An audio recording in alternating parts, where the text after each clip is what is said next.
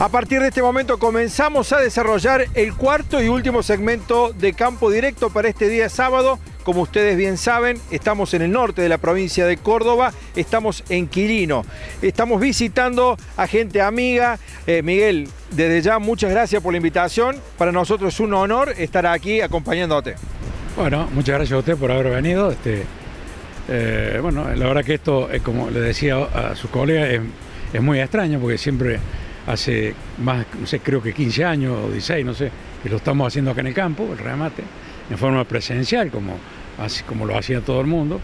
Este año un poco nos cambió, nos cambió todo, porque no tenemos cliente de La Rioja, algo de Santiago, donde no, no se iban a poder llegar, así que directamente hemos decidido hacerlo por streaming y por canal rural. Eh, es, es, el domingo 23, 9 y 30 horas. Comienza hasta la 1 del mediodía. Así que bueno, veremos, veremos esta nueva modalidad cómo nos va.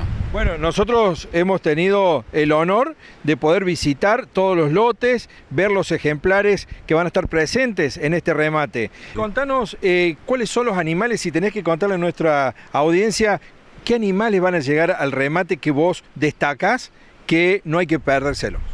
Mira, hay, hay cuatro o cinco vaquillones de elite que son interesantes una, una o dos que son muy interesantes. Y después tenemos un toro muy interesante, cabeza remate, que tiene, va a cumplir dos años ahora. Que el hermano eh, fue, fue campeón el año pasado de su categoría en Palermo. E iba a volver este año, pero bueno, como por, obvio no, no, no, se va a hacer este año en Palermo, lo llevaremos el año que viene como senior, si Dios quiere. Eh, pero bueno, son animales todos de transferencia, realmente con, con padres importantes. Y bueno, de todos modos vamos a ver, eh, lo que Palermo es todo bueno, todos los caballeros llevan bueno, todos llevan bueno, ¿no? Así que, eh, no, eh, veremos, veremos, creo que tenemos muy buena hacienda. Después hay, uno, hay un, unos tríos al principio que son muy interesantes. Estamos viendo en imágenes. Sí, que están viendo en imágenes son muy interesantes, muy interesantes. Bien, ¿qué cantidad de cabezas son las que van a estar en el remate? Van 78, 80 toros más o menos. Eh, y vaquillonas preñadas son unas 110, 120 aproximadamente. Unas 5 elite, después unos, unos, lotes más y después unas 100 vaquillonas de 20 meses preñadas. Que, que, no sé si entrarán todas por canal rural, pero sí por streaming, ¿no es cierto?